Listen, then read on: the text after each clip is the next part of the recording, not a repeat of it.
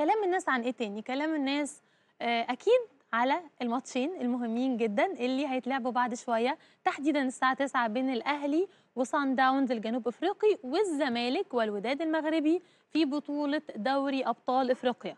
المهم إن المصريين بدمهم الخفيف كالعادة وطريقتنا كده المعتادة. سابوا الماتشين بقى وعمالين يتكلموا على إيه؟ إنه يا ترى القهاوي والكافيهات هيعملوا إيه في مشكلة النهارده؟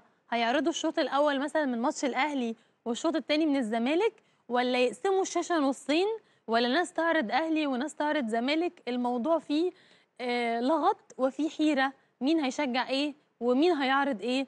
فخلينا نعرف تفاصيل أكتر عن الماتشين. من ضيفي اللي معايا على التليفون كابتن النادي الأهلي ومنتخب مصر السابق كابتن أحمد بلال. يا كابتن أحمد. يا مساء الخيرات. يا مساء الفل؟ لا الناس ما عندهاش لغط ولا فيش حاجة الناس هتتفرج على الأهلي على طول يعني. آه بص أنت من أول المداخلة عايز تعمل لنا مشاكل. أنا مش عايزة مشاكل النهارده. مش يعني أنت لو صاحب قهوة أو كافيه مش هتعرض ماتش الزمالك هتعرض الأهلي؟ آه طبعا. منحاز منحاز. حتى لو في جمهور كتير. قاعد عندك. بيتفرج على الزمالك؟ ما أنا هقول لك أهو. النهارده مين المرشح إنه ياخد البطولة؟ أنا مش هقول أنت قول. أهو ما أنا اللي بقول أهو. الأهلي المرشح ياخد البطولة. تمام؟ فالناس تتفرج على مين؟ تتفرج على الأهلي المرشح إنه ياخد البطولة واللي أول ماتش تعادلوا واحد واحد آه، تعادلوا تعادل بره ملعبه وده تاني ماتش لو كسب ممكن يتصدر المجموعة ولا يتفرج على ماتش الزمالك اللي تعادل أول ماتش على ملعبه وتاني ماتش تعادل بره ملعبه. بس ماتش الزمالك والوداد المغربي ماتش برضو مهم جدا. ولو ولو اتعادل النهارده أو خسر خرج بره بطولة إفريقيا. يبقى طبيعي أتفرج على النادي. بنتمنى الفوز للزمالك والفوز للأهلي برضو مش عارفة أتمنى لمين ولا مين ولكن آه، معروف يا كابتن بلال أنا مش هخلص معاك في الكلام معروف بتصريحاتك وإنك ما فيش عندك حيادية. منحاز للأهلي. طيب بعيدا عن الهزار توقعاتك إيه للماتشين؟ الأهلي لوحده والزمالك لوحده؟ بص خلينا يعني خلينا نتكلم. آه ماتش الأهلي ماتش صعب أكيد يعني. تمام؟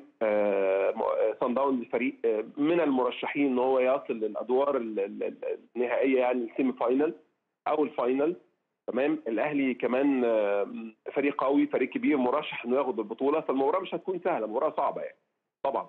السنة اللي فاتت الأهلي كسب صن داونز هنا في الق- في القاهرة وتعادل. معاه هناك آه، فبالتالي بشوف إن حظوظ الأهلي ممكن تكون يعني أكبر شوية من صن داونز. كرة القدم طبعا ما فيهاش آه، ما فيهاش توقعات. تمام؟ لأن أنت بتتكلم على حسب يعني ال- ال- اللعيبة في الماتش نفسها بتبقى إمكانياتها إيه وقدراتها إيه ومدى تركيزها ومدى دخولها في ال game وسرعة دخولها في ال game ومدى تركيز المدير الفني وتغييراته والتشكيل اللي بيحط حاجات كتيرة جدا. ولكن من يعني منطقيا الم- المفترض إن الأهلي بيلعب جوه ملعبه. تمام؟ المفترض إن الأهلي بيمر بحالة نشوة كبيرة جدا جدا. تمام؟